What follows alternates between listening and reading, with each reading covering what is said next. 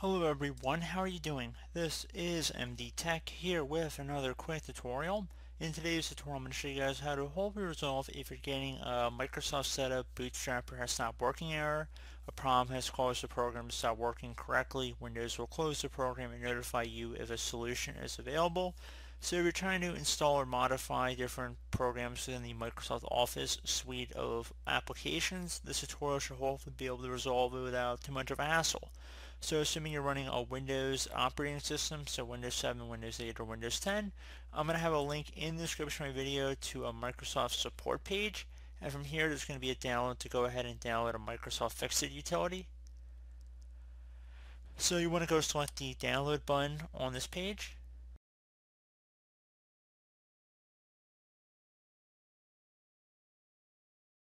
Shouldn't be a very big download, only about 216 kilobytes. So pretty small, should only take a couple seconds to download. Once it's done downloading to your system, go ahead and just open it up. Whatever web browser you want to use might be a different prompt in order to actually open up the download, but just however you normally would open up or run applications. Just want to do the same thing for this one. So at this point you can minimize or close out of the web browser, whatever you want to do.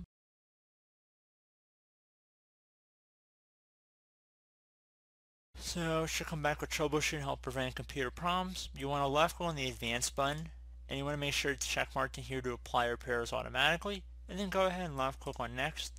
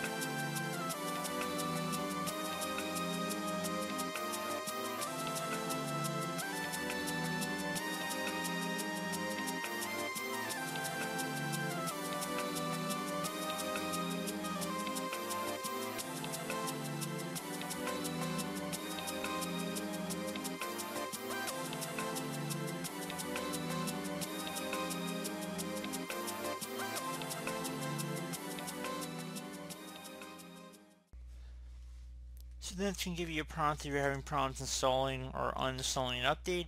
If you're on this tutorial, it's likely you're having a problem installing the update. So we're going to go ahead and just go select installing, but in your case, if you're getting that prompt trying to uninstall an application, you want to go select the second option.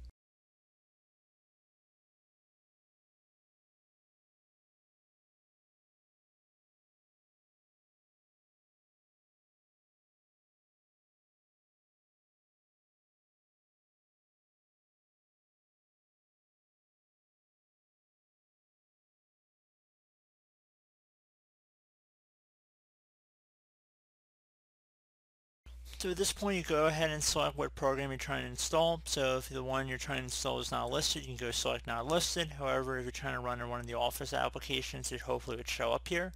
So let's just go ahead and say we're trying to run this Office 16 click to run. Again, your example might be a little bit different, but we're going to go select next.